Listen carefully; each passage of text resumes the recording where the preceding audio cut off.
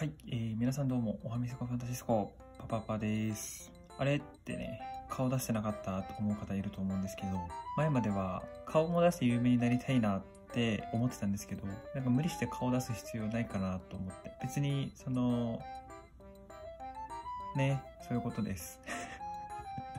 で今回何をやりたいかというとですね、小学校4年生の時に描いたイラストをですね、どこまでかっこよくできるかのコーナー。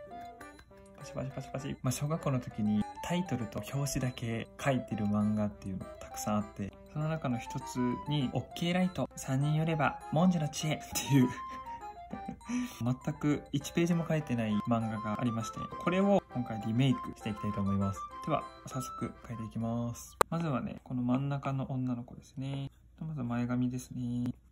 前髪を描く上で意識している点としては、からこんな感じで語彙力あります。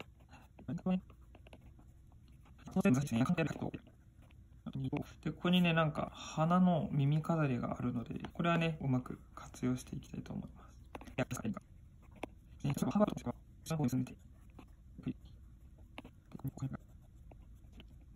す。やっぱ女の子の首は男の子よりは細めで僕は描いてますね。これはどういう襟なんだろうな。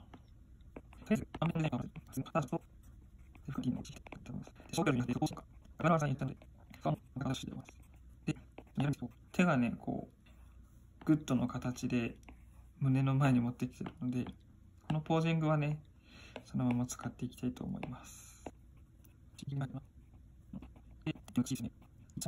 中指を中心に若干こう丸くなってるというか、っていうのを意識してあげると書きやすいかもしれないですね。なりまして。人差し指太くなりすぎ、なりが、なりちょっと、なりがなし、わか。それは面書きです。い。なピッチしてます。いいく、いい感じですか。そして、こう、すり、すり。えっとね、こう、こう、あとで、リッチャーと書いてますね。なので、さあ、で、なんかね。で、面関しては、それ、こう、最近は真ん中のこの中心線だけ書いてバランスをとってます。ここのスペースとここのスペースを合わせるだけでだいぶバランスが取れるようになります。すごいね、さっきね、カリカリ梅を大量に摂取してしまって、塩分過多ですね、これは。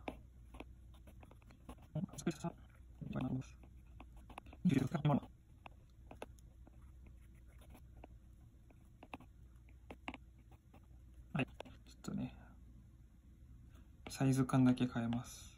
いや、でもこの頃もすごい、なんか絵描くの楽しんでたなーっていう記憶はありますよね。ではまず横顔なんですけど、これだとちょっとあの薄っぺらすぎるので立体感を与えていきましょうかね。で僕横顔には2種類あると思ってて、鼻から顎がこう一直線に降りてるパターンの横顔と、ここが一直線に降りてるパターンの横顔とあると思うんですよね。リアルなのって多分こっちだと思うんですけど、これは多分好みに分かれると思うので、僕はこの鼻から顎が一直線に降りてる横顔の方が好きです。なんか可愛い。これは難しいで、このつまり、なんかもう、来てないですね。だから、まあ、そうですね。うん、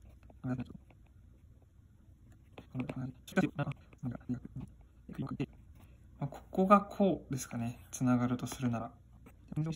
後頭部はね、結構膨らませていいと僕は思っています。書くとき。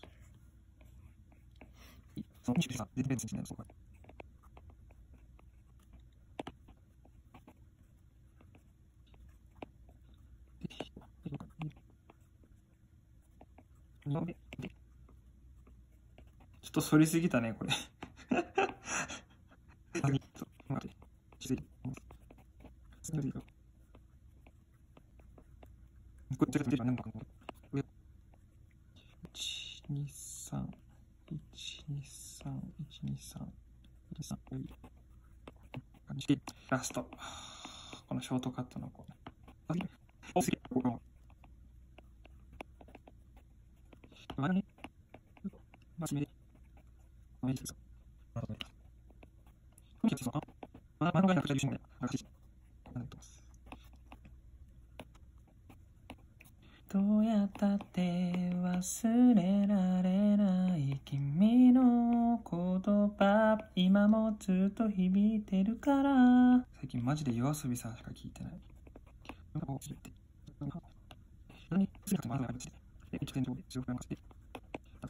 髪の毛ツンツン跳ねさせるときはつむじを意識して持ってくると。ねいい。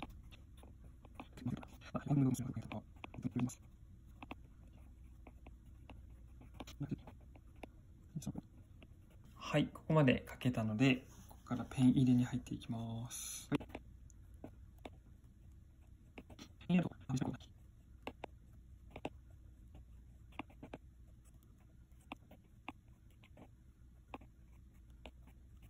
はいあの、知らない人に、あ、それ、この調べ、何時かで、こうしない。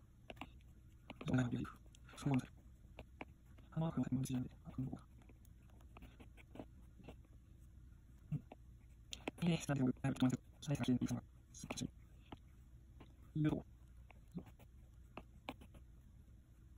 やっぱさ、あの、他の時は、他の人の自分がの、生きてるのかつては言わない、言わない、言いな感じを、活用してみようと、もっと、なんかこう、映画でもいいし、はい。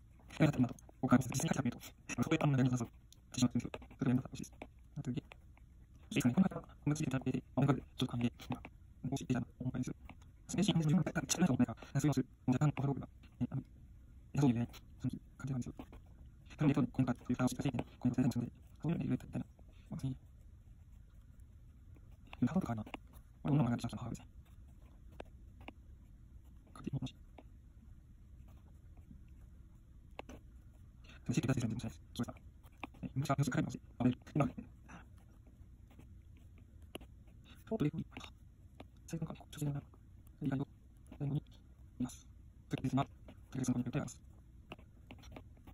がんがし、ハートね、1、2、ブラン、1、2、何しや、もうしや、スカート、スカート、うん、違う。うん、いらないか。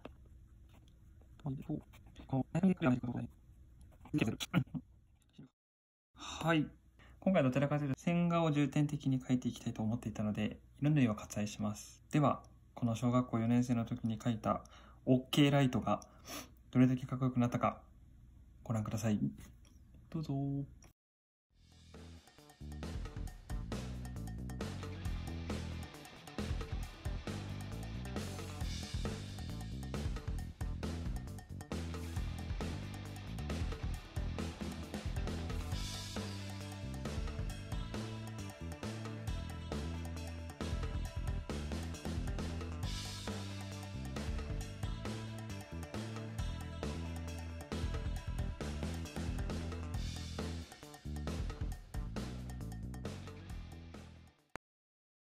はい、いかがでしたでしょうか？なんだろうね、多分学園物語の生徒会じゃないけど、学校の問題を解決しようとする漫画だったのかな？っていうのをちょっと意識してか想像しながら書いてみました。はい。ではですね、今回はこの辺で終わりたいと思います。この動画が面白いと思った方は、チャンネル登録とグッドボタン、それから Twitter のフォローもぜひお願いします。ではまた会いましょう。バイバーイ。